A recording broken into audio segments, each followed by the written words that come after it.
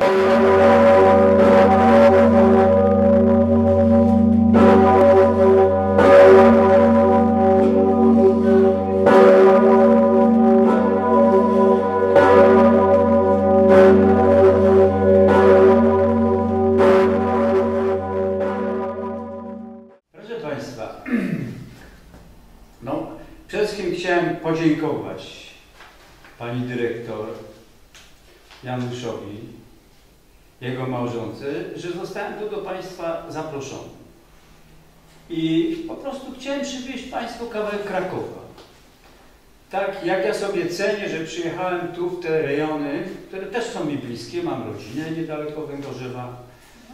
mam działkę e, niedaleko Węgorzewa. E, Uwielbiałem tu zawsze jeździć na wakacje, może teraz rzadziej, bo może mniej czasu i przybliżyć Państwu rzecz wyjątkową, jeśli chodzi o Europę. O ten wspaniały zabytek sztuki ludwisarskiej, jakim jest dzwon Zygmunta, który specjalnie nasz wielki król Zygmunt Stary zlecił oddać na chwałę nie tylko rodu Jagiellonów, ale przede wszystkim na chwałę Rzeczypospolitej. Dla niego było niezmiernie ważnym, że w momencie, kiedy dwór krakowski prowadził rozległe kontakty polityczne w Europie, a w związku z tym przybywali różni, ważni przedstawiciele mocarstw czy królestw z Europy, to wchodzili do Krakowa, wchodzili na Wawel przy dźwiękach tego wspaniałego dzwonu. Muszę Państwu powiedzieć, że dzwon został bardzo szybko w zasadzie odlany. Król myślał prawdopodobnie gdzieś tam już na początku XVI wieku, gdzie Wawel zaczynał być przebudowywany, bo to początek renesansu, żona Włoszka, te prądy południowe zrobiły swoje. I w tym układzie ten dzwon powinien być wielki. Taki jak Wielka Rzeczpospolita, bo przypomnę, że w tamtym czasie nasza Polska trzykrotnie większa niż dzisiaj. Prawie milion kilometrów kwadratowych. Oczywiście wspólne dziedzictwo Litwinów i Polaków. To nie można powiedzieć, że to tylko Polska. I proszę Państwa, na ówczesne czasy, w 1520 roku, kiedy ten dzwon został realizowany, w tamtych czasach to był największy dzwon europejski.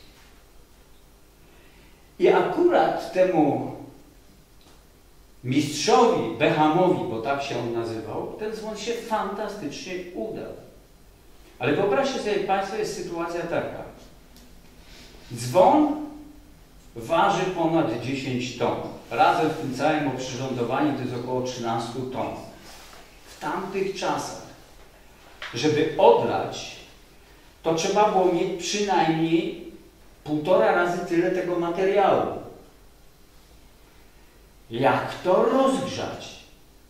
Trzeba było mieć specjalne, ogromne kadzie, gdzie podpalano i cały czas grzano, grzano, grzano, grzano. Wszystko odbywało się niedaleko bramy floriańskiej, czyli niedaleko muru. W specjalnym dole wykopanym. To jest wszystko w książce, jak ktoś będzie chciał, to sobie to poczyta. Więc nie będę tu się rozlewał z tym. W każdym razie odlew się uda. Dzwon mniej więcej jakieś około kilku czy nawet kilkunastu tygodni musiał stygnąć. Bo to ogromna masa.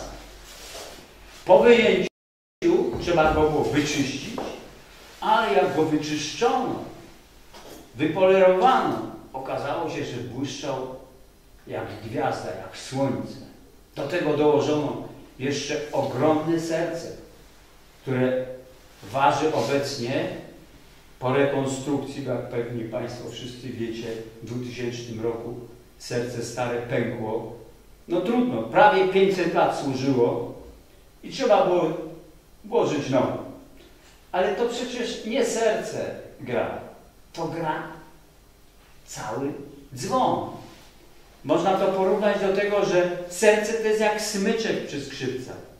To przez skrzypce grają, nie smyczek. Smyczek można wymienić. Tu tak samo serce można wymienić, a dzwon jest najważniejszy. Proszę Państwa, w 1521 roku, 13 lipca, ten dzwon po raz pierwszy Kraków i wszyscy mieszkańcy i zaproszeni goście usłyszeli. Niektórzy płakali, klękali, bo rzeczywiście ton, jaki z siebie wydał, po części Państwo tu słyszeli, ale oryginał jest zupełnie inny. On gra w tonacji fis w oktawie wielkiej, a oprócz tego ma tak zwane alikwoty. To są dźwięki poboczne, które dają wspaniały akord. Wielokrotnie do Krakowa przyjeżdżały różne osoby, znawcy dzwonów, bo jest specjalna nauka, kampanologia, czyli nauka o dzwonach. Kampana to jest dzwonek, dzwoneczek. I proszę sobie wyobrazić, że wszyscy słuchacze, cała rzesza profesorów, muzykologów, która wsłuchiwała się w ten ton, mówiła, że nie ma takiego dzwonu w Europie, który by tak pięknie brzmiał. To jest zresztą jedyny dzwon w Europie, który kołysze się najwyżej. Ja z moim synem, Wawrzyńcem i z pozostałymi trzema moimi synami dzwonimy. Ja już 43 lata, ty już 20 ponad. I proszę Państwa, on się wychyla 62 stopnie. Nie ma takiego dzwonu, który by tak wysoko szedł. I to jest cudowna sprawa. Bo dzięki temu, że on wychyla się tak wysoko, ten wielki, jego otwór, ta wielka średnica akurat wychodzi na okna. I on wypływa, proszę Państwa, na zewnątrz i mówi się, że jak dzwon Zygmunta zadzwoni, to go słychać do Wielkanocy. To nie znaczy, że zaczął dzwonić powiedzmy w grudniu i jeszcze go tam słychać. Nie, tylko niedaleko Krakowa znajduje się wieś Wielkanoc. I tam w tej wsi Wielkanoc oni go jeszcze słyszą. To było wielkie przeżycie, jak ten dzwon po raz pierwszy Kraków, cała Polska tam jako przedstawiciele usłyszeli. E, zacząłeś opowiadać o dzwonie do rekonstrukcji, jak to ładnie kiedyś nazwałeś, do zawału e, dzwonu jeszcze wrócimy, ale powiedz mi, e, sam dzwon, on jest, nie jest najstarszą częścią tego wszystkiego. On jest w jakiś sposób, to znaczy w jaki sposób to widzieliśmy, jest zamocowany na dzwonnicy, no i w jaki sposób został tam przetransportowany. Proszę Państwa, mówiłem, że dzwon odlano przy murach Krakowa, przy bramie floriańskiej. No taki wielki dzwon nie dało się tak normalnie przetransportować ze względu na jego wagę. Przygotowano specjalne sanie, pod którym podkładano belki. I on na tych belkach, które przekładano stopniowo, dotarł pod wieżę, i oczywiście legenda, że sto wołów wciągało ten dzwon na górę, to nieprawda. Tamtejsi nasi, że tak powiem, e, dziadowie dobrze wiedzieli, że wystarczy trochę techniki. Czyli bloczki dwa, lina z jednej strony dzwon, a z drugiej strony skrzynia wypełniona kamieniami. I wystarczyło na sam koniec jeden większy głaz położyć i dzwon powolutku poszybował w górę, a szybował w kierunku wieży, która kiedyś stanowiła element murów obronnych Wawelu. Tam już przygotowano miejsce w postaci odpowiednio wykonanej konstrukcji dębowej, na której ten dzwon zawisł, ale wcześniej powieszono starsze dzwony, które tam były. Poniżej Zygmunta, który jako król polskich dzwonów tam się rozsiadł na samej górze, są cztery mniejsze dzwony. i starsze. Ale tak jak ten dzwoni, no to tamtym niestety daleko.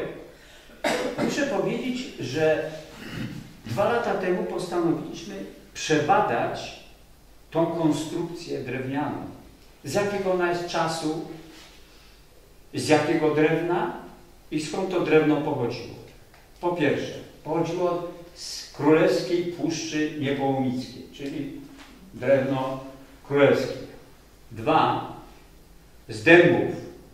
A trzy, jak się okazało, jeden z najstarszych elementów, na których dzwon wisi, czyli na tak zwanym jarzmie, to ten dąb zaczął rosnąć mniej więcej w tym czasie, kiedy urodził się Władysław Łukietek. Czyli proszę sobie wyobrazić, że dzisiaj ten dąb ma ponad 700 lat.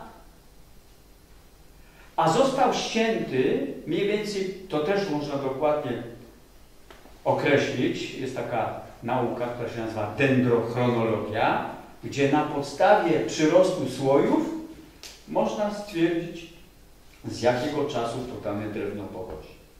No i wyszło, że ten dom został ścięty prawdopodobnie, już nie pamiętam, ja to piszę dokładnie w książce, chyba w 1518 roku albo 19.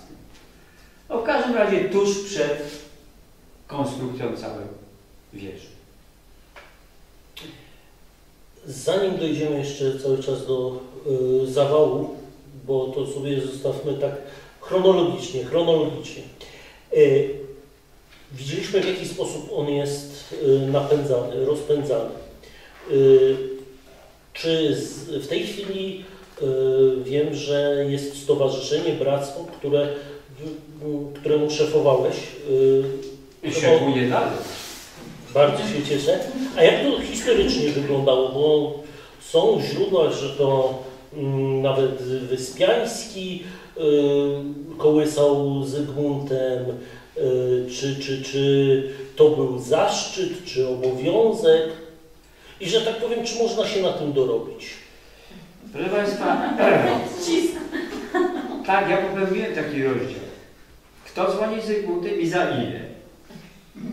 Otóż, proszę Państwa, y, na samym początku y, dzwonili y, kościelni, służba kościelna, ale oni się nie bardzo spisywali i król niezadowolony zatrudnił cieśli, którym dał przywilej, tu też zobaczcie Państwo w książce, on jest pokazany, przywilej z 1520 roku z pieczęcią królewską, wspaniały zabytek. I mieli się opiekować tym cieśle. I oni się opiekowali i dzwonili tym dzwonem aż do czasów rozbiorów. E, po rozbiorach opiekę nad dzwonem teoretycznie powinien przejąć cesarz austriacki. Tak się nie stało. Przejęła katedra. I od tego czasu dzwonili przede wszystkim pracownicy katedralni, czyli tak zwani świątnicy. Dlaczego? Bo część pracowników katedry to byli ludzie z dóbr wawelskich, ze świątnik pod Krakowem, miejscowość Świątniki. Nazywano ich świątnikami. I w zasadzie tak było aż do II wojny światowej. Po II wojnie światowej wszystko wywróciło. Dzwonem Zygmunta zakazano dzwonić i tylko wyjątkowo w święta kościelne, bo tutaj tylko jedną rzecz Państwu przypomnę, że w dawnych czasach dzwon Zygmunta odzywał się co trzeci dzień w tygodniu. Ponad 100 razy. No bo tak, urodził się wnuk, urodził się syn, umarła ciotka, wyszła za mąż królewna, przyjechał wielki dygnitarz, przyjechał książę.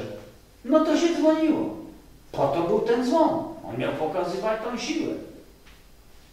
I proszę Państwa, obecnie dzwon Zygmunta odzywa się mniej więcej 20-23 razy do roku, głównie święta kościelne. Ale czasem z racji tego, że ja jestem wielkim dzwonnikiem, mam na imię Marcin, to na 11 listopada na Marcina dzwoncy buta dzwoni. Ale tak naprawdę no to jest święto niepodległości. Czyli dzwonimy też ważne święta narodowe. A kto dzwoni? To może No właśnie. Czy, czy opowiedzieć. ciężko jest zostać dzwonnikiem? Ciężko zostać dzwonnikiem jako takim. No nie jest to łatwe, bo faktycznie e, tutaj e, no, ten zwyczaj powiedzmy przekazał nas, wprowadził nas ojciec, e, mnie i moich trzech braci, którzy dzwonimy. No trudno mi to ocenić, czy ojcu było łatwo, czy nie. Myślę, że zrobił to z wielkim sercem, za co mu bardzo, bardzo dziękuję, bo tak jak byłem mówiłem, 23 już lata e, pociągam za sznury. 5 lat miałem chyba jak pierwszy raz się pojawiłem na wieży, no to e, takie przeżycie wyjątkowe. E, no i, i, i właściwie przez to takie regularne odwiedzanie tego, tego specjalnego miejsca, no, to był taki cały, cały proces wprowadzenia powiedzmy. I żeby zostać dobrym dzwonnikiem, bo ja uważam się za dzwonnika, który bardzo się przykłada do swojej funkcji, e, uważam, że nie jest to łatwe. Tutaj jest, y, no, potrzeba połączyć wiele, wiele, wiele cech, cech obserwacji, trzeba obserwować cały proces, tak jak powiedziałem wcześniej. E, Ile, ile osób dzwoni? Dzwoni, no dzwon, e, żeby dzwon mógł zagrać, potrzeba 12, 12 dzwonników. 6 osób dzwoni po jednej stronie, 6 po drugiej, które jest też linii po jednej i po drugiej stronie, czyli po 6 linii. E, no spotkania bywają też spontaniczne, bo czasami są rzeczy, które obwieszczamy no, spontanicznie i się wieś rozchodzi. Dzisiaj jest e, telefonia komórkowa, więc powiedzmy jest to dużo łatwiej niż kiedyś. No, no, spotykamy się na wieży parę minut czasami przed, przed, przed dzwonieniem. Ile się wchodzi na wieżę? Ile się wchodzi? Proszę Państwa, Cztery. Y, y, Wieża jest niezbyt wysoka, o, powiedzmy sobie, 63 schody, Tak. ale jest wzgórze, więc generalnie, gdybyśmy od poziomu morza liczyli, no to jest te ponad 200 metrów w górę. Y, I to nie jest ważne. Ważna jest jedna rzecz, że wchodzimy w miejsce uświęcone. Uświęcone tradycją, uświęcone tym, że dzwonią tam ludzie, dla których ten dzwon coś znaczy. Jesteśmy bractwem zamkniętym. Żeby zostać dzwonnikiem, to opowiedz, jak trzeba się wysilić, żeby zostać dzwonnikiem. No, tak jak powiedziałem, no, nie, nie jest to łatwe i, i faktycznie to, cały proces dzwonienia to, to jest 8 minut w tym momencie, kiedy taki jeden, jeden koncert, nazwijmy to, to y, trwa. No, y, jest to y, no, bardzo duży wysiłek y, fizyczny. Ja, ja, ja z kolei, dla mnie to jest w ogóle taki mistycyzm specyficzny, w ogóle cały, cały, cały moment dzwonienia, bo jest to i wysiłek fizyczny, też często każde dzwonienie ja w jakiejś intencji e, e, e, dzwonię i poświęcam powiedzmy ten czas. E, I no, tak naprawdę to jest bardzo duża koncentracja potrzebna, bo sam proces jest no, niebezpieczny, nazwijmy to w ten sposób. To jest y, 13 ton, które huśta się nad naszymi głowami. Są te liny, które trzeba je obserwować cały czas, żeby, żeby się nie zawinęły wokół szyi, żeby na nie nie nadepnąć. To już tak mówię technicznie. E, no, wymaga to, tak mówię, pełnej koncentracji. Ale ja jedną rzecz dodam, że jeżeli ktoś, tak jak mój syn, chciałby zostać dzwonnikiem, jest już tym dzwonnikiem, to najpierw musiał przez trzy lata uczyć się, przychodzić na wieżę, za pierwszym razem dotykał liny, jak dzwon, nie dzwonił, tylko tak sobie, prawda, pociągał, bo tak samemu nie uruchomi tego. Zresztą wrócę za chwilę do Wyspiańskiego. I przez te trzy lata minimum, żeby był na wieży około 50 razy, wtedy może zostać prawdziwym dzwonnikiem. I wtedy dostaje odznakę brązową. I z tą brązową odznaką chodzi przez 20 lat. Po 20 latach ma prawo dostać odznakę złotą. On ma złotą oznakę, ja mam złotą oznakę, więc jesteśmy złotymi chłopcami.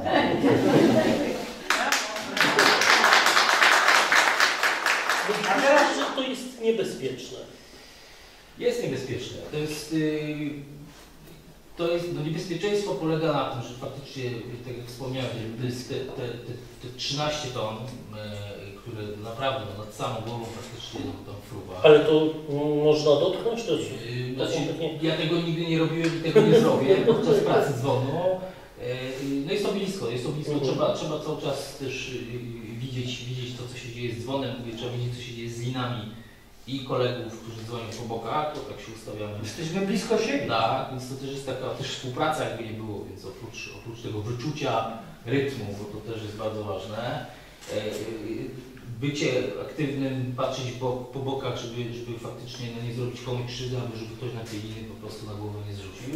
Opisuje tu różne historie. Tak, to też tata tutaj y, no, kilka takich momentów opisuje bardzo ciekawych. No i jest to niebezpieczne, to, to wymaga doświadczenia, wymaga, tak jak powiedziałem, precyzji, koncentracji, siły fizycznej też, e, bo ja uważam, że mm, dobre dzwonienie wtedy jest, kiedy człowiek jest naprawdę spocony, już tak, y, no, no wtedy jest to oddanie takiej pełnej tej, tej, tej funkcji. I, i trzeba to obserwować, trzeba wpływ, trzeba mieć dobrą osobę, która też wprowadza, tak jak mi ojciec wprowadzał, pokazywał wszystko i tak dalej, żeby nie popełnić później błędów, które mogą kosztować do siebie albo, albo kolegę dzwonnika, yy, no później jakimiś uszkodzeniami, no nie przy, przykrymi konsekwencjami, które no, się zdarzają. Tak jak, Adwocem. Proszę Państwa,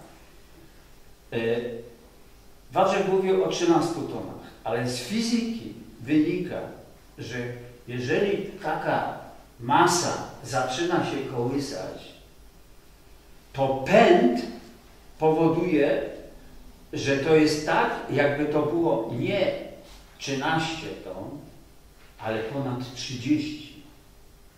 Taka jest zasada fizyki. to było słychać tutaj na, na tym filmie, jak zaczął pracować ten I Proszę Państwa, jeżeli by coś się zadziało, to my nie jesteśmy w stanie zatrzymać tego zła. Podobno były wypadki takie, że niefortunny dzwonnik nadepnął na linę, lina go poderwała, a wtedy w oknach nie było siatki, obecnie ona jest i wypadł. Zginął na miejscu. To jest naprawdę maszyneria. I my musimy bacznie patrzeć, co się dzieje. Tych 12 ludzi musi być zgranych, bo to jest instrument. Oprócz tego, że to jest mechanizm, to jest instrument. I my musimy grać. I jeżeli jeden człowiek nie złapie rytmu, to dzwon będzie bił na jedną stronę, źle będzie ten koncert cały przeprowadzony. My musimy naprawdę dokładnie widzieć, co się dzieje. Zanim pierwsze uderzenie pójdzie, to musi minąć około 30 sekund. Proszę sobie zobaczyć na zegarek i patrzeć 30 sekund. To jest jednak sporo czasu. Tyle trwa rozhuśtanie. Bum, pierwsze uderzenie. Bum, bum, drugie. Prawda? I my od razu musimy patrzeć, czy dzwon idzie wysoko. I umiejętnie, to proszę sobie wyobrazić, ja wiem, że to nie zawsze jest łatwe, że my trzymając linę, dzwon idzie coraz wyżej, to my musimy tej linię popuszczać.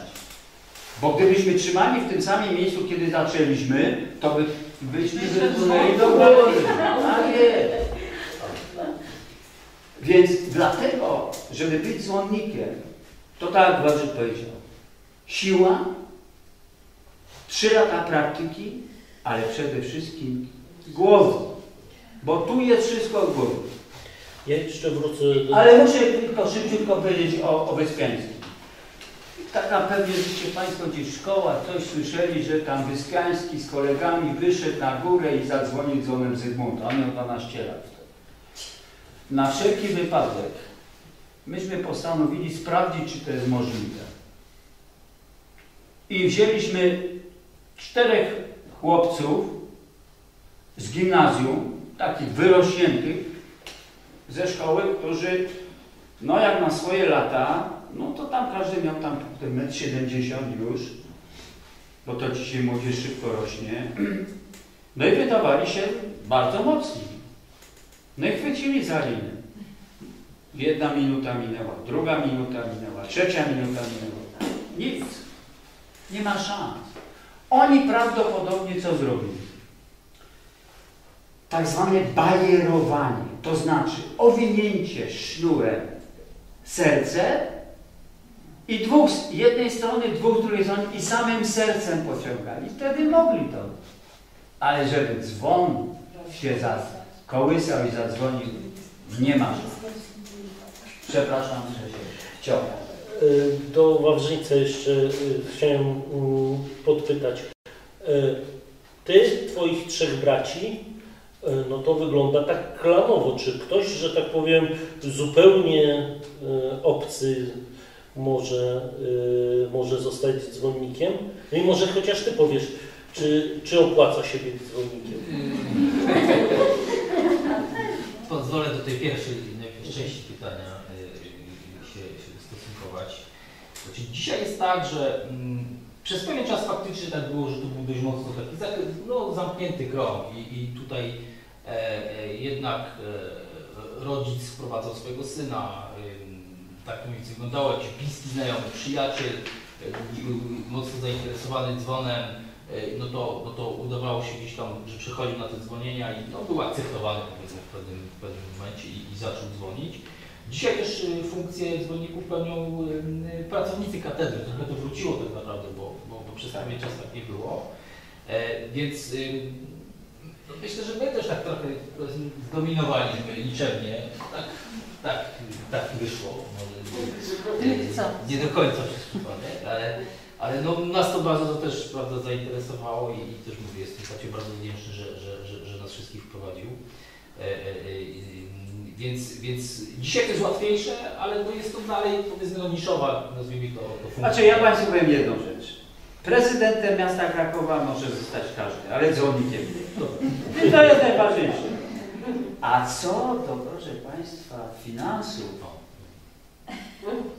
to proszę Państwa, Pan tak, profesor jest z Krakowa. to jest taka sytuacja, już Wam powiem. Otóż król specjalnie pewną kwotę dla tych swoich dzwonników przeznaczył i to była niemała kwota.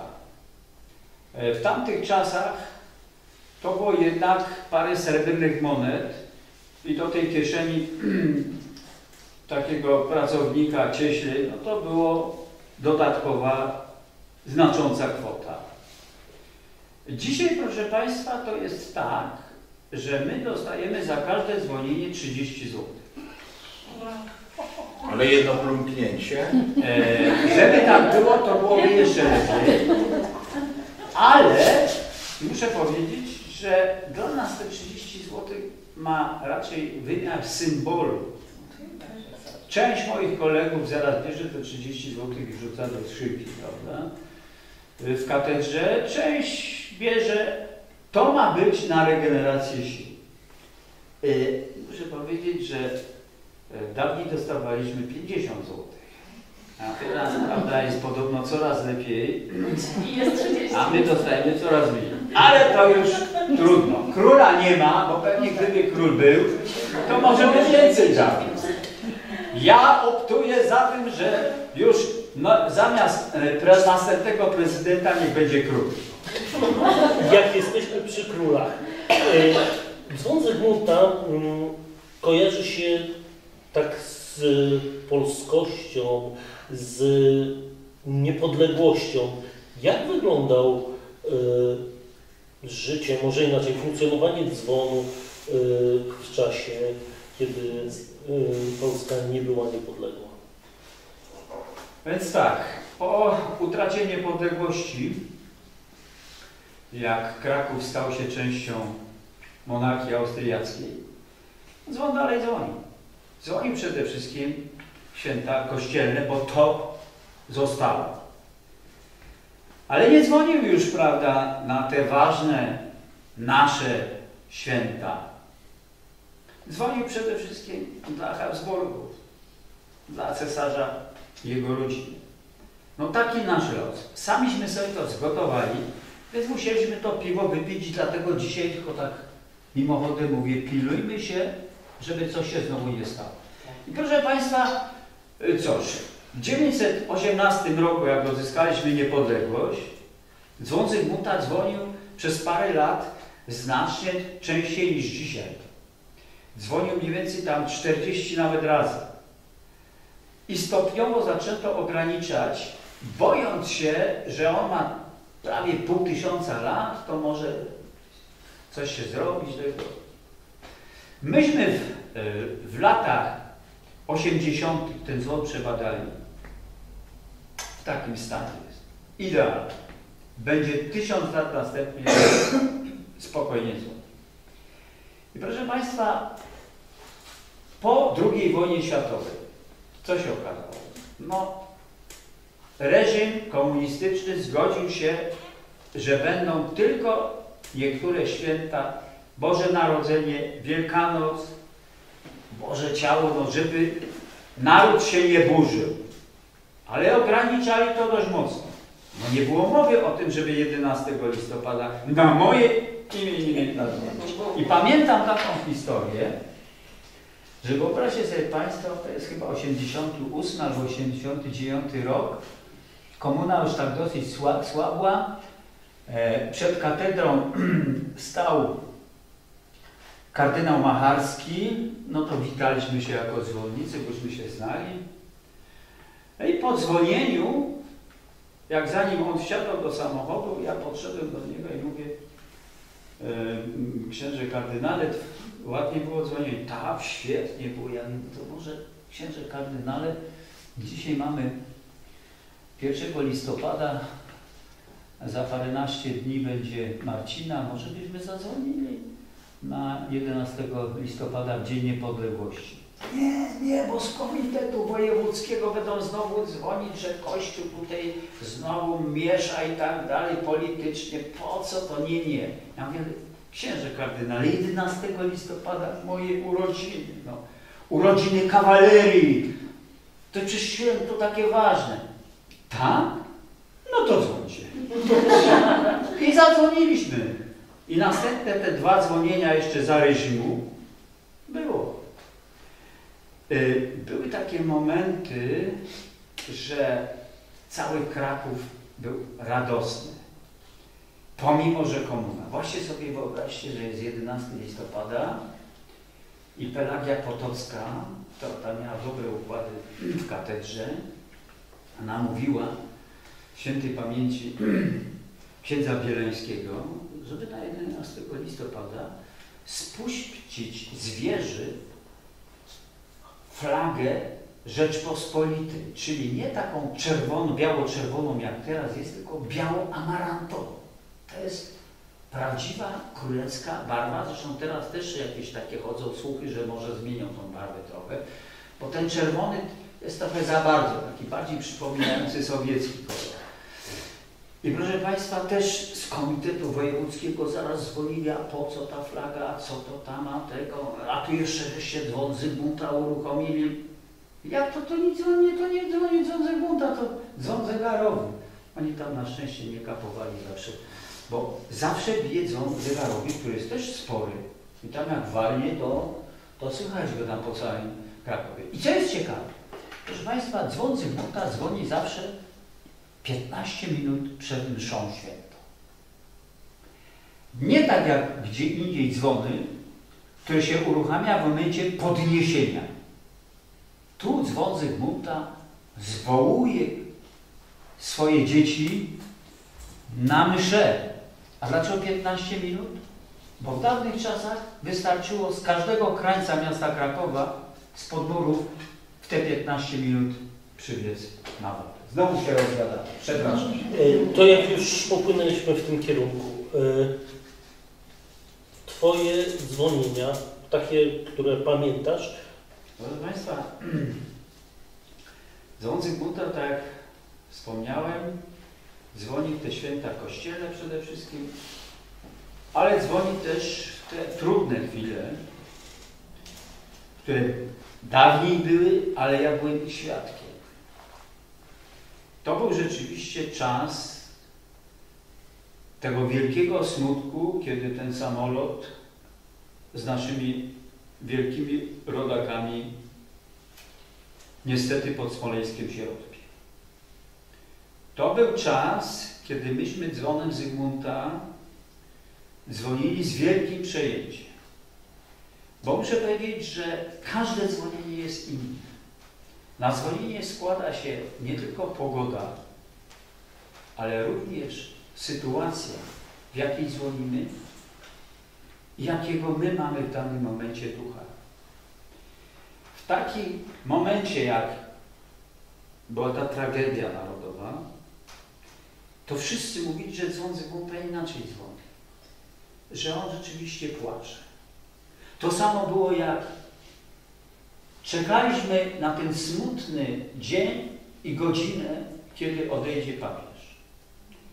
Myśmy w zasadzie byli prawie cały czas przy katedrze, na szczęście komórki, prawda, i dostaliśmy już wiadomość, nawet nie z kościoła, nie z katedry, tylko dostaliśmy od Włochów z ambasady włoskiej, że oni już wiedzą, że Ojciec Święty zmarł.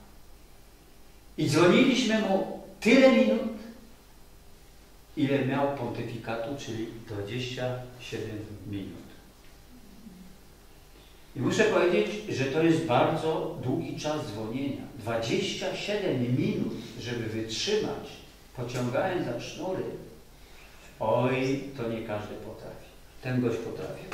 No, Mówiłeś, że musisz się spocić. To, y, że tak powiem, normalne dzwonienie takie na spocenie to No to już 3 minuty wystarczy, żeby się spocić tak naprawdę, Mhm. a 27 minut to jest... e, Ja pamiętam, ja różne wysiłki fizyczne y, podejmowałem w życiu, to był chyba jeden z większych, naprawdę, jeśli nie największy. Mówię, w połączeniu z tą pełną koncentracją i no, wysiłkiem takim no, ponadnormatywnym, e, ale w intencji no, bardzo wyjątkowej to też e, mm, kompilacja tych powiedzmy dwóch odczuć no, jest niesamowita. Jak teraz nad o tym myślę, to, to ciarki mi przechodzą przez plecy, ale no, faktycznie tak było i, i, i mm, no, niesamowite wydarzenie tak naprawdę też w moim życiu. Mm, To tak Ale są pod, podpytam, zaraz, sekundkę. E, dzwoni 12 osób? Tak. Ale y, są możliwe jakieś zmiany? Tak, tak. I to też bardzo mądre pytanie. My się zmieniamy ogólnie. Każdy chce no, brać udział w tym, w tym nazwamy koncertem. Tak, tak, jest. Ile osób jest w bractwie, które mogą dzwonić? 36 osób. Okej, bo jeszcze mówimy o tych zmianach. Tak. I f- faktycznie robimy tak, że zmieniamy między... No, połowę dzwonienia, po połowie dzwonienia jest zmiana, jest... e, e, e, 4 minuty jedna osoba, 4 4 minuty druga. To Ale też to co, zatrzymujecie dzwoni? Właśnie nie, to jest też y, pod kątem takim technicznym, e, e, to jest trudny proces, żeby się płynnie zmienić, przejść, zmienić partnera e, dzwoniącego i tu, tu tym bardziej jest e, potrzebna wz- wzmożona uwaga, żeby też nikomu się nic nie stało, bo jest ten moment, kiedy jest przekazanie link, trzeba to zrobić w zdecydowany sposób, szybki i pewny.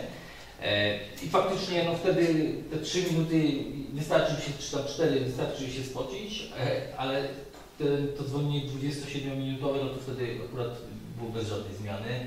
Chyba jako ja jedyny. Jedyny. A Jędrek też. A Jędrek Brat też. dzwonił 30 minut. Tak, 30 minut jak papież Jak Ojciec Święty przyjął Tak. druga wizyta e, Ojca Świętego w Polsce, e, mój starszy syn, czy starszy brat, o 3 lata, e, przez 30 minut dzwonił i muszę Państwu powiedzieć, że w tym miejscu podłoga była zroszona jego potem. To było niesamowite. Wszyscy go tam chcieli zwolnić, a on jak przyspawany do tej linii. Jak w transie. Rodzinny.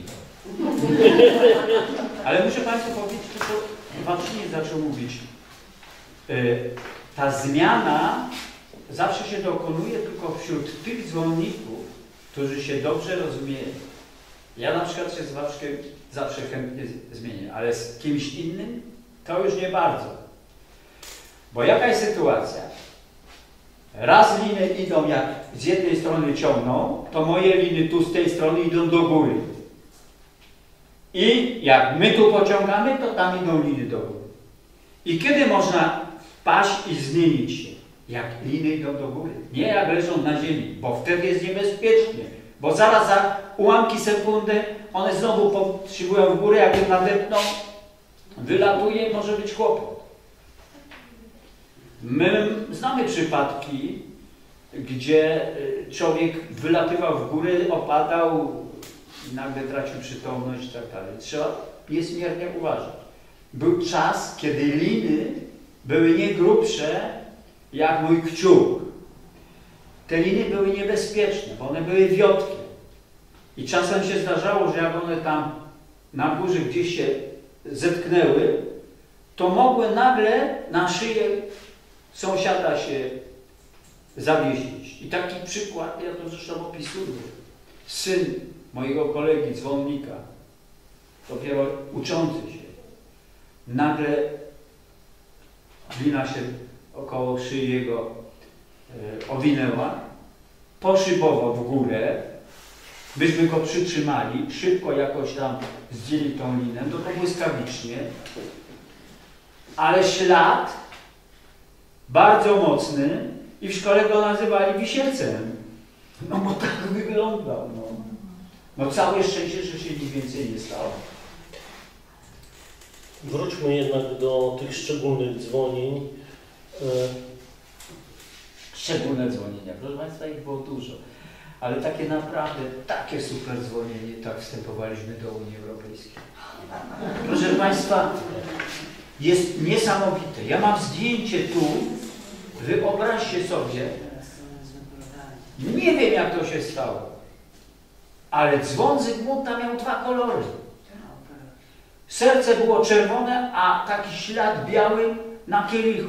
Biało-czerwony, nagle dzwon Zygmunta. Skąd się to wzięło? No jakieś siły naprawdę wyjątkowe, bo ten dzwon jest wyjątkowy. Pamiętam, to radość była taka ogromna. Coś niebywałego na przyjazdy papieża. Zwłaszcza dwa pierwsze.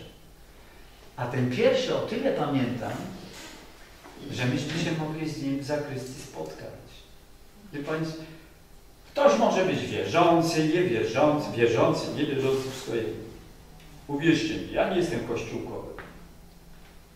Dla mnie Kościół jest ważnym miejscem, gdzie skupienie, bardziej kwestia Boga. Ale to naprawdę był święty człowiek. W momencie, kiedy Ojciec Święty po mszy wszedł do zakrystii i ja stałem na, czterech, na trzech schodach na tej wysokości.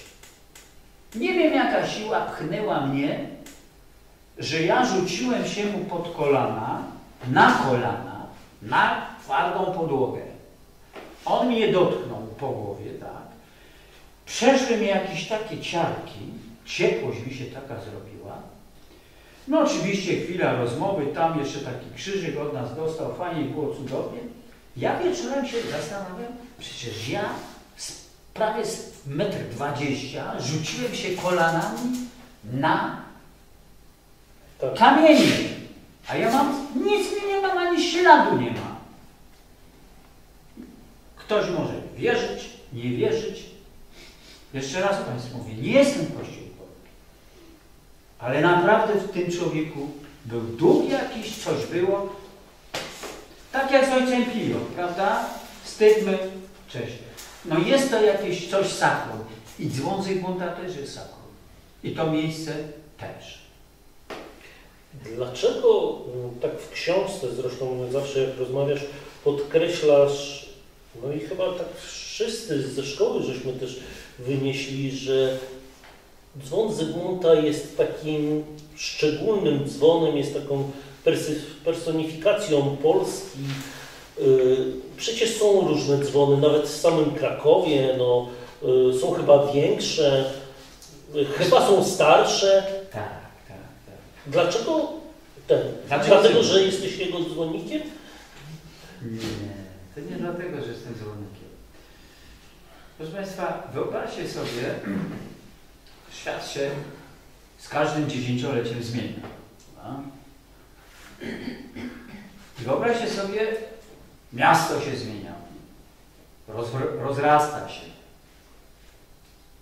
y, zwyczaje ludzkie się zmieniają. A wyobraźcie sobie, jest taki dzwon, który przez 500 lat niezmiennie dzwoni. I jest, są ludzie, którzy te, za ten sznury tego dzwonu pociągają. Są bractwa, które tam na przykład bractwo kurkowe. No ale już nie spełnia tego swojego zadania, jakim była chęć, znaczy konieczność obrony murów miejskich. Tak, To jest dzisiaj symbol. A to trwa tak, jak było do tego stworzone. To znaczy, dzwon miał nas zwoływać i robi to do dnia dzisiejszego przez 5 lat, 500 lat niezmiennie. I to jest cudowne. I czujemy się, proszę Państwa, takim łącznikiem z czasami królewskimi, z tą wielką Rzeczpospolitą. Bo przecież ten sygnał, który idzie z dzwonu, jest taki sam, jak słyszał go król Zygmunt i, i następcy jego. To jest niesamowite. Dlatego muszę powiedzieć, że widzę, jak ci ludzie, którzy przychodzą pod wieżę, a niektórzy co mają szczęście, żeby wejść na wieżę podczas dzwonienia. My ich wtedy usadawiamy tam na samej górze, bo nie mogą być na tej części, gdzie my stoimy. Widzę łzy w oczach. Y, Bo to jest naprawdę przeżycie wyjątkowe. Ostatnio miałem wizytę dyrektora Archiwum Narodowego. To wielka postać, dyrektor to jest profesorem naszego Uniwersytetu Jagiellońskiego, który obcuje też z fantastycznymi rzeczami, z tymi starymi dokumentami, między innymi z tym dokumentem, który król kazał, prawda, sporządzić dla tych ludzi, którzy będą ten dzwon poruszali. I widzę, jak, jak, jak, jak on to przeżywa. I takich ludzi, którzy byli na wieży, jest cała masa. Był na przykład generał Bień. Słyszeliście może o tym panu, który dotykał serca, a ja mu mówiłem, słuchaj, jak dotkniesz tego serca i tego dzwonu, to będziesz miał szczęście. No i co? Został wielkim generałem, był generałem w siłach NATO, był w Stanach Zjednoczonych, tam jakimś też jednym tych dowódców czy coś, w Iraku, nic mu się nie stało na szczęście. Dzwon Zygmunta przynosi szczęście. I ja jak za każdym razem dotykałem, to mi się syn rodzi. A ja dotknęłam i nic. Proszę pani, to trzeba było masować. Ja musiał, mu- musiałbym pani pokazać. Zapraszam do Krakowa. Proszę, już pani nazwisko moje zna. Będziemy, proszę pani, coś kombinować.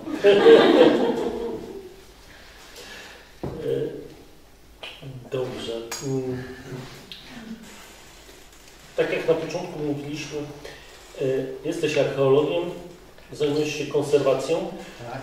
i e, no, dzwon Zygmunta miał jakby szczęście, że trafił w twoje, w twoje ręce. Myślę o tym przypadku z 2000 roku, tak? Tak, tak. Nazwaliście to zawałem. Proszę Państwa, wyobraźcie sobie, święta to jest taki bardzo ważny moment w życiu każdego narodu. A muszę powiedzieć, że chyba Polaków zwłaszcza.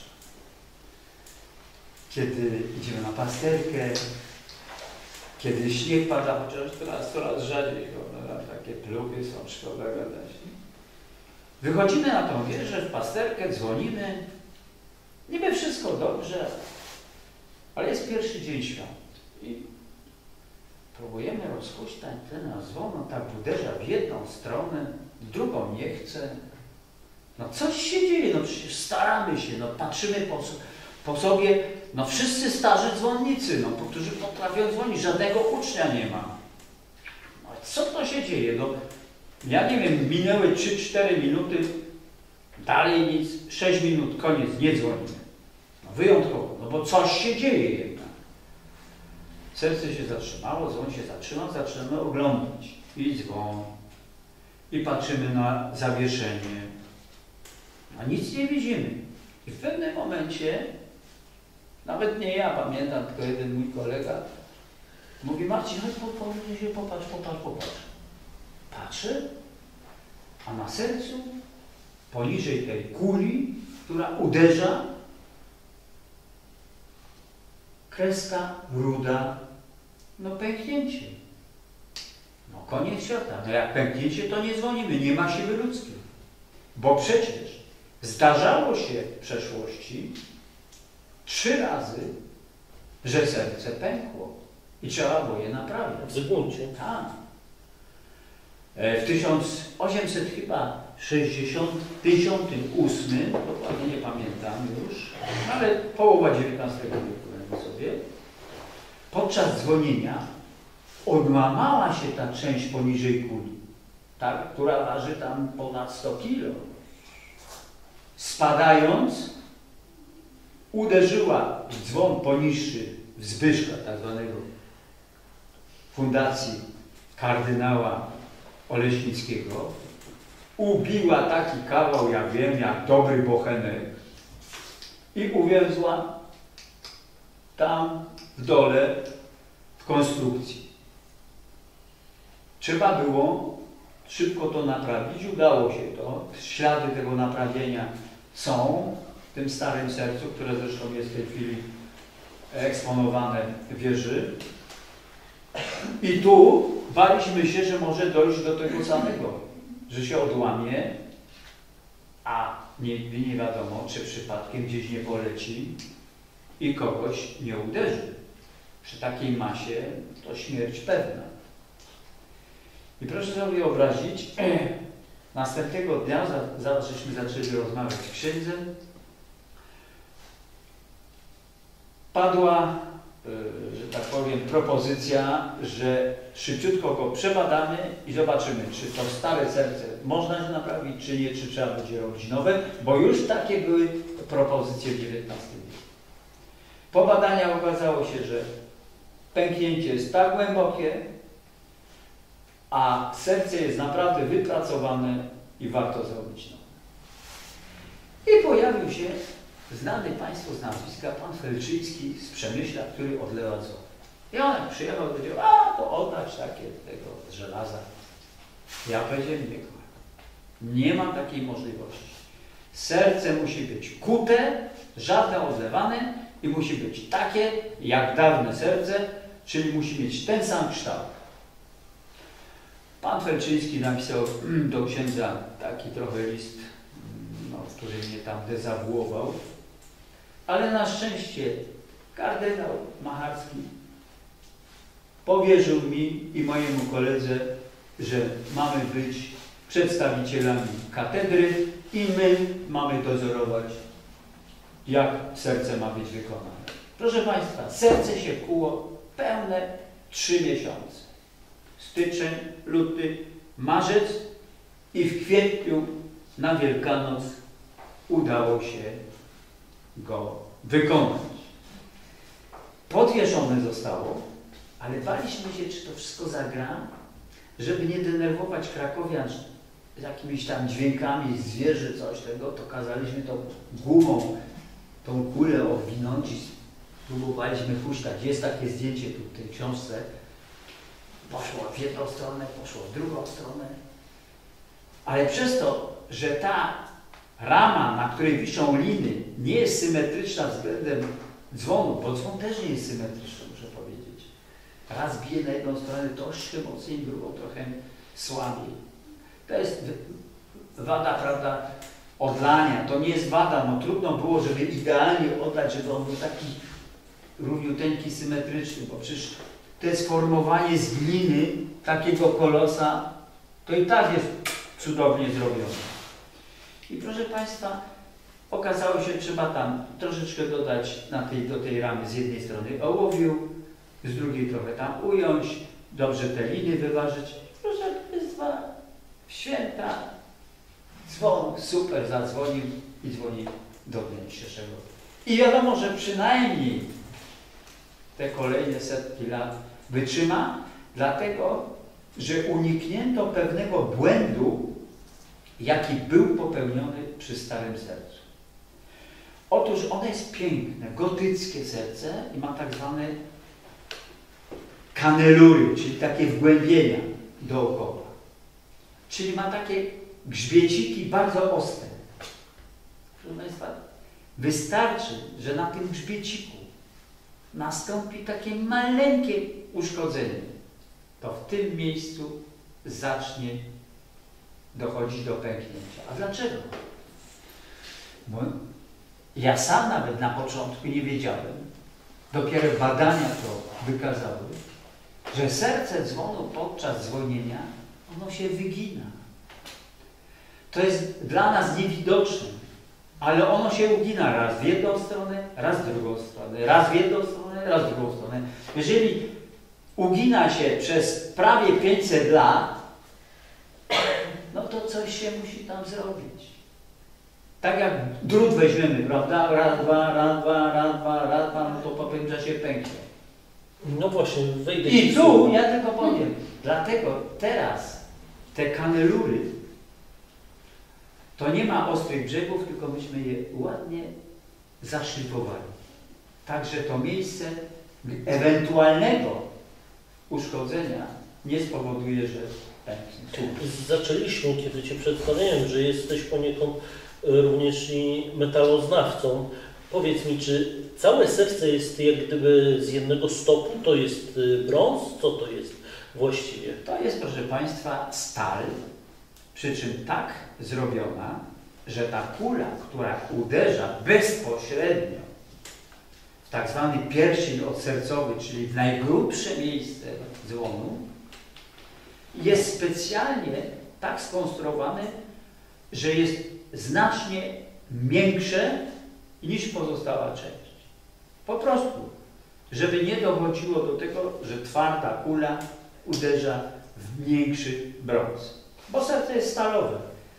Ono jest w tej chwili nieco inne niż to stare. Tamto stare było tą metodą starożytną wykonane, czyli tak zwany z takiej żelaza pudlarskiego, który było zanieczyszczone żużlem. A to jest czyściuteńkie i dlatego jest trochę cięższe. Tamto ważyło 320 chyba 6 kg, a nowe 365. Tyle, ile dni w roku. Ale to nie ma znaczenia. Te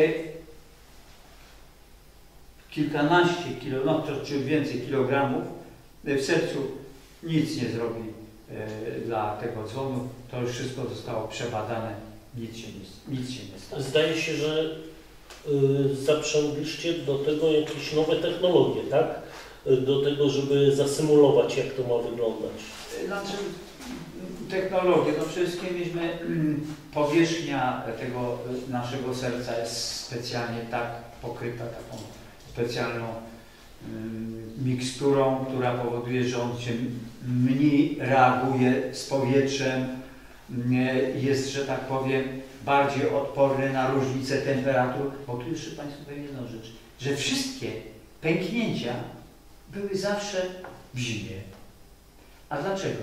Dlatego, że to żelazo do, użyte do tego serca starego to było żelazo fosforowe, które ma tendencję do pękania w niskich temperaturach.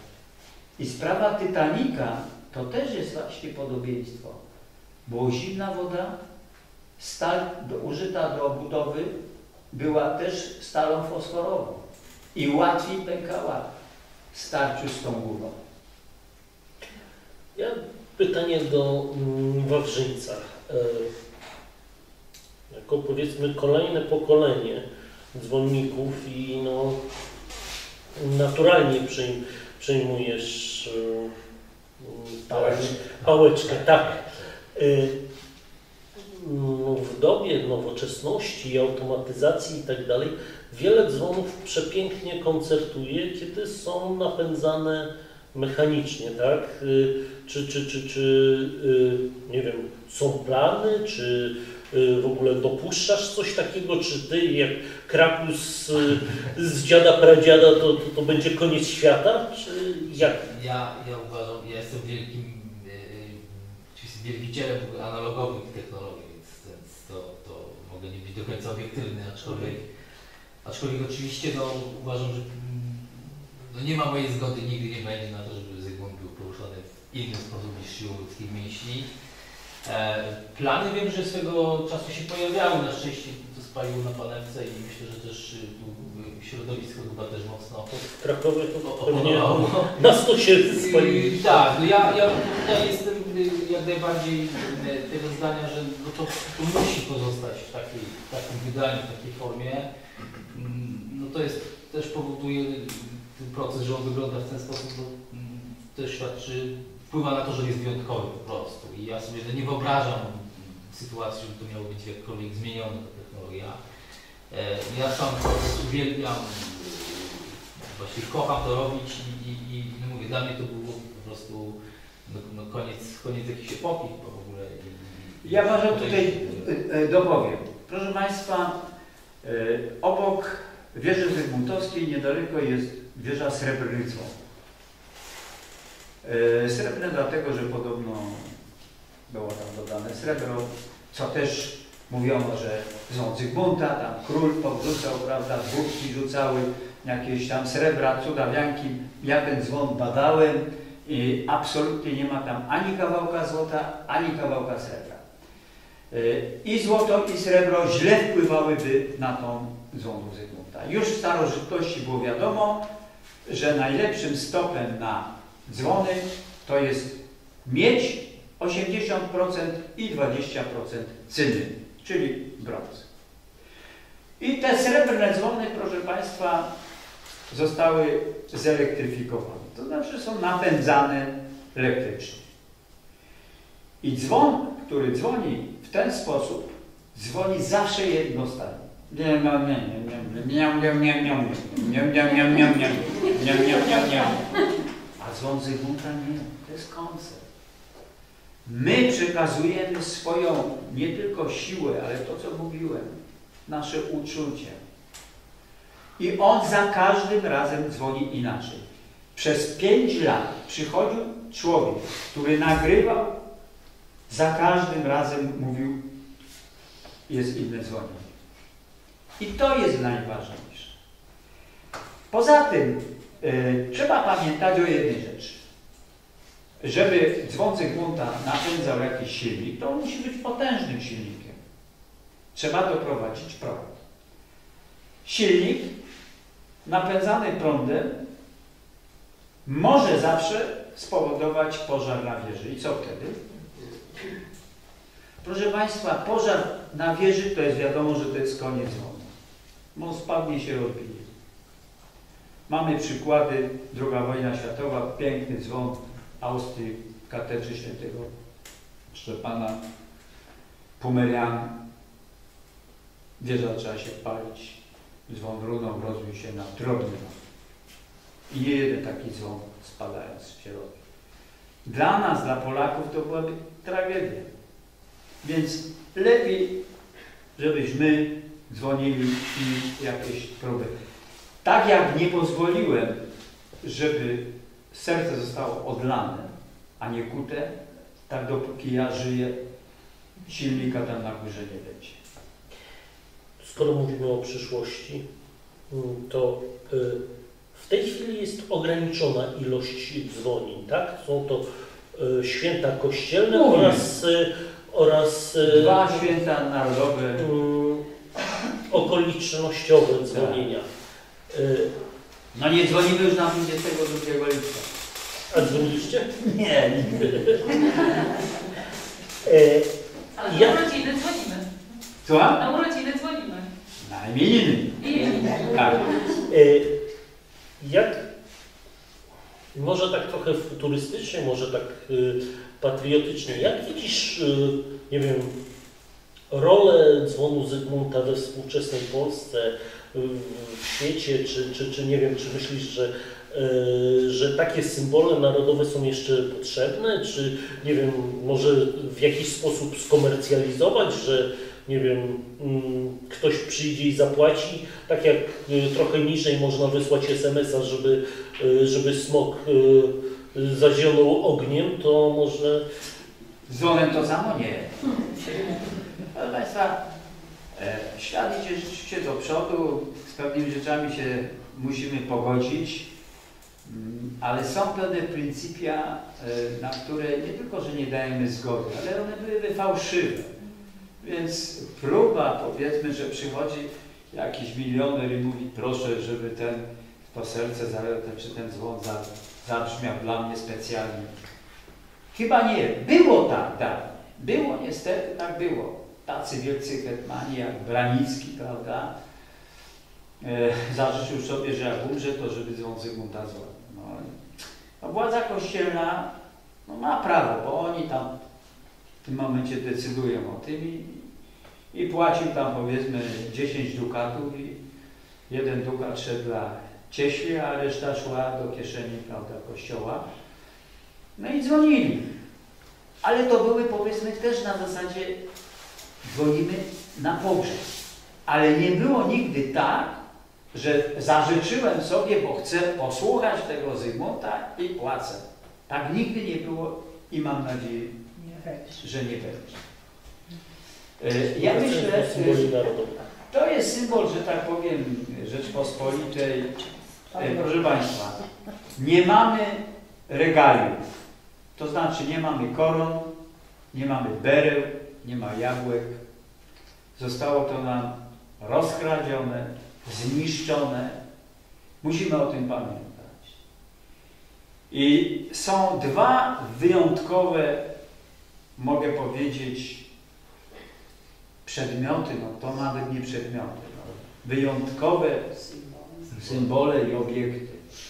To jest dzwon Zygmunta i miecz koronacyjny na Wawelu, Szczerbiec.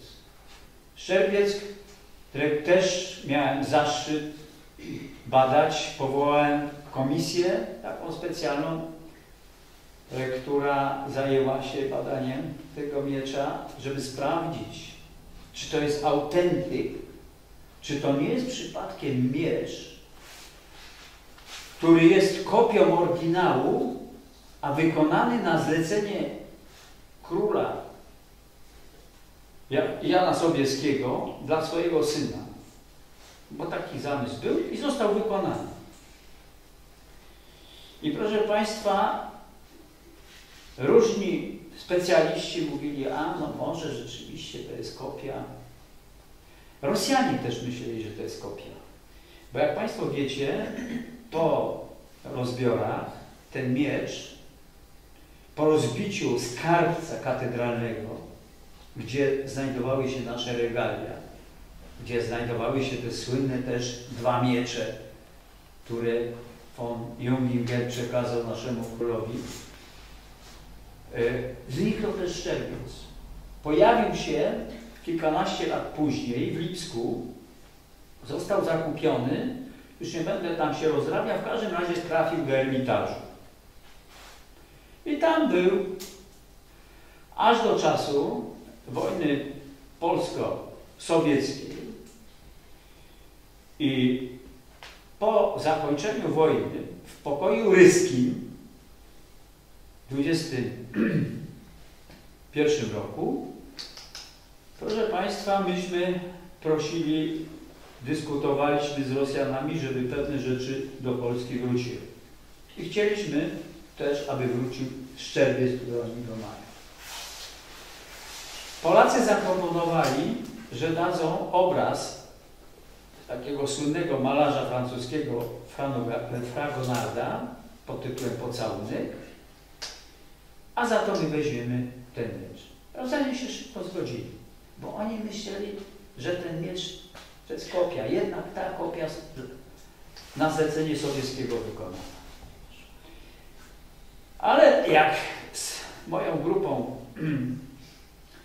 zająłem się badaniami, to się okazało, że nie, że to jest klasyczna głownia z wieku XIII,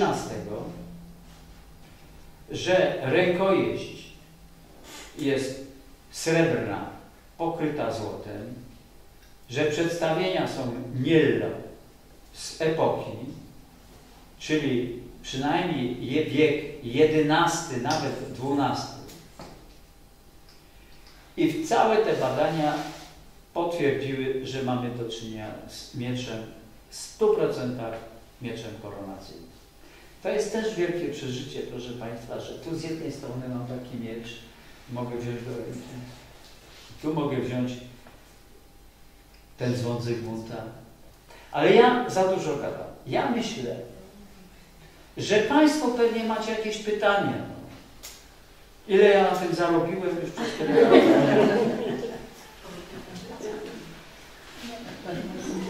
Ile wejście na wieżę teraz kosztuje? Wejście na wieżę, bilet, proszę Pani, No właśnie. y, bo Pani, ja wiem, będziemy te sprawy masować. Ale ja myślę, że dla Pani to ja to zrobię za darmo.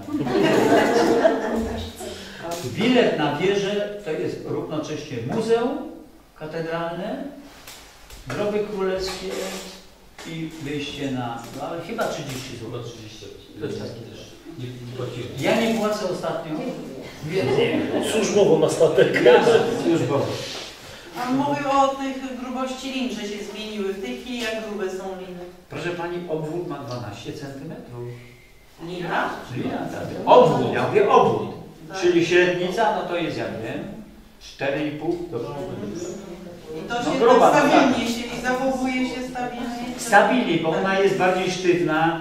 W zimie, muszę powiedzieć, jak się w rękawiczkach się dzwoni? Właśnie, czy Państwa. Moi koledzy dzwonią w rękawiczkach. Ja jestem z podnaku panny, ale biorę bez rękawiczki, zimne, zmrożone i ciągnę tak. I czasem bywa tak, już teraz nie, ale ja widzę tych młodych chłopaków, którzy jak zaczynają dzwonić, to po dzwonieniu patrzę, a tu tak, krew leci. Ale mnie czasem też lina walnie w czoło i syn mówi, no tatuszku, no to ładnie tu przyjechał, mama ci powie zaraz, żeś ty łazi. Bo to smagnięcie takim, to jak bater. Znaczy te liny są ostre po prostu same w sobie. No bo to jest z, z, surowa w sumie ta su, nie wiem, Juta. juta, tak, surowa juta, żeby była twarda.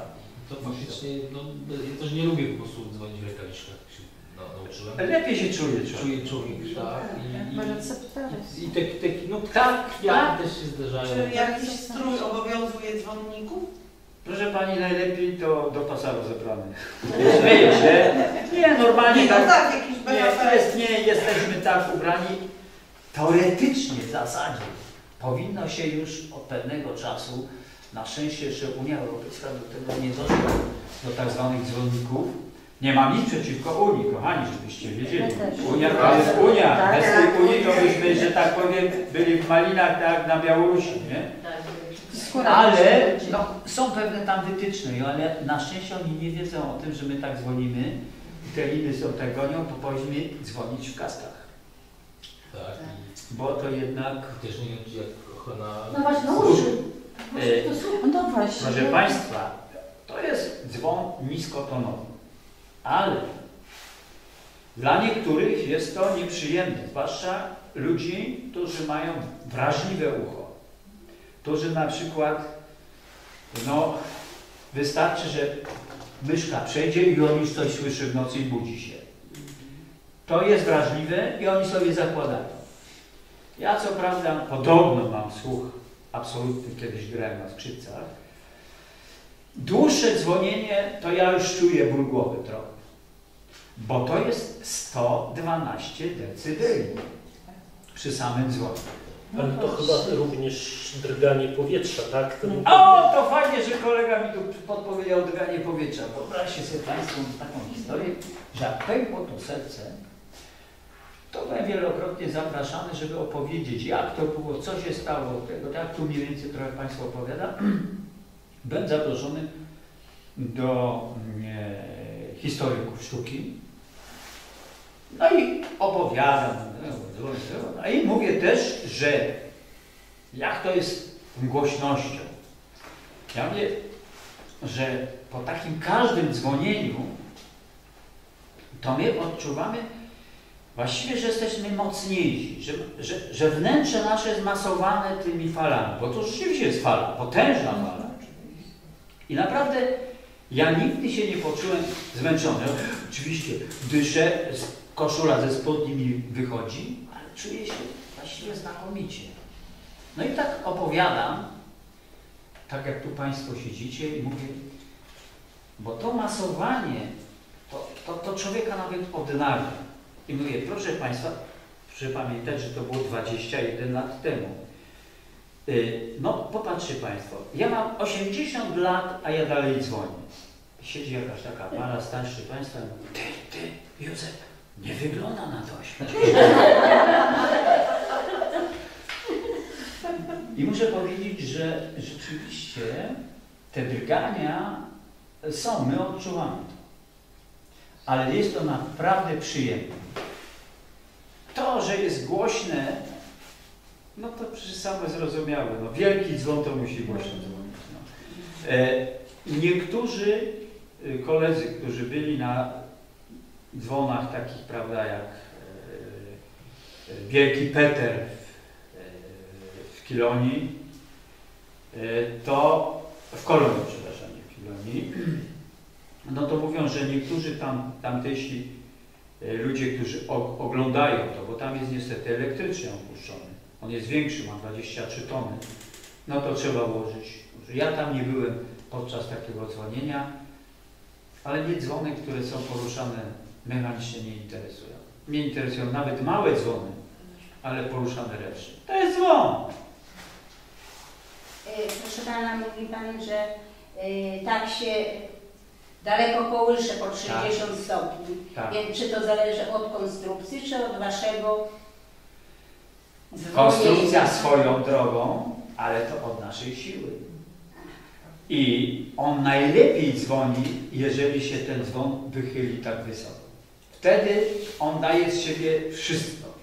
Wtedy jest uderzenie potężne serca, a tak jak on by się słabo kołysał, to jest takie pyknięcie. No. Także powinno się jak najwyżej. My, my też tam między sobą się porozumiewamy. Nie trzymać, wyżej, puść go. Mamy te swoje gesty, bo jest tak głośno, że jak ja mówię, to tylko ktoś widzi, że ja ustami ruszam, ale on nie wie. Więc ja tam pokazuję, tak, prawda, no to wiadomo, że trzeba do góry puścić, że nie można przytrzymać. Ale są momenty, że na przykład, no nie wiem, no przecież mamy różne stany, może być tam dwóch chłopaków, którzy akurat wiem, gorzej czują albo coś się zagapili i serce uderzyło dwa razy w jedną stronę, w drugą stronę nie dobiło i on zaczyna kuleć. To druga strona powinna przytrzymać, żeby wy, był uderzenie w drugą stronę, żeby wyrównać te, te zwolnienia. Więc tu cały czas my musimy to wszystko kontrolować, tak jak Boże mówi. Pan jest dzwonnikiem, Pan ma czterech synów dzwonników, a następne pokolenie. Proszę Pani, mam siedmioro wnuków i wnucząt. Znaczy mam trzech wnuków, trójkę wnuków i cztery dziewczynki. I muszę powiedzieć, że było w trakcie historii dzwonu Zygmunta, że dzwoniły dwie Barbary. Moja koleżanka z instytutu niedługo dzwoniła, bo ona chyba ponad rok tylko dzwoniła, ale była koleżanka historyk sztuki, która dzwoniła chyba z 10 albo 15 lat. E, Dzisiaj mm, e, podobno, ja tego nigdy nie stwierdziłem, e, jest prawo kanoniczne, które mówi, że nie mogą dzwonić e, e, ci, mm, kanonicy, nie mogą dzwonić księża i zakonnicy i nie mogą dzwonić kobiety. A wnukowie, wnukowie ci męscy, ta męska strona jakieś. Proszę Pani, ja bardzo późno się zakochałem, Jak ma Pan 100 lat. bo ja szukałem takiej, takiej 101 już? Y, Takiej jednej, jedynej szukałem długo i dopiero miałem Dzieci y, na stare lata. 36 lat, jak się urodził Mateusz, nie? 32? 32. To nie, no, to I najstarszy mój wnuk ma dopiero 8 lat, nie? Ale już tak chętnie, chętnie. Dwa- 8 lat. No więc jeszcze musi te 10 lat No, no, ale już tak zagląda tam już pod... E, wiem, że uwielbia słuchać różnych dzwonów przed To kto komputerem. E, Na pewno któryś będzie dzwonił. Bardziej, bardziej ma syna, to na pewno. Tak, ja się cieszę, to nawiążę, bo, bo w pierwszej kolejności dwie córki, no i trzeci wyczekiwany syn. Nie ukrywam, że też pod kątem e, Wawrzek specjalnie wychodził na wieżę, żeby, tego, żeby te fale, fale, żeby potem, prawda? Tak. Ale nie, dla mnie, ja oczywiście no, bardzo bym chciał, żeby mój syn e, dzwonił. Mm, Oczywiście to będzie jego wybór, no bo on będzie Tak. decydował, mam nadzieję. Zrobię wszystko, żeby, żeby mu tu pokazać z tej, tej cudownej strony, jak, jak, jak też to pokazał ojciec. Także, także no dla mnie to jest ważne, chciałbym to przekazać tą Jeszcze tradycję. czeka już. Pan, że będzie Pan miał zmiennika wnuka. No fajnie by było. Fajnie by było. Może się zdarzyć. Może się zdarzyć. Musimy zadbać o to. W książce jest wszystko. Właśnie.